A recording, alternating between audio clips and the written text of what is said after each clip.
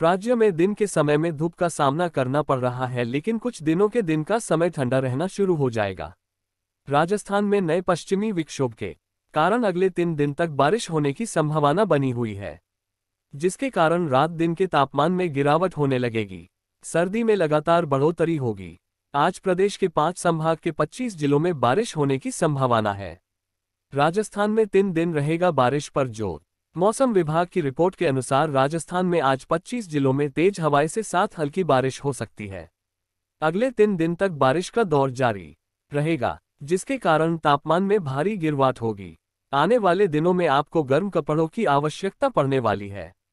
दिन की तेज धूप में मौसम खुशनुमा रहेगा। आज इन जिलों में होगी बारिश।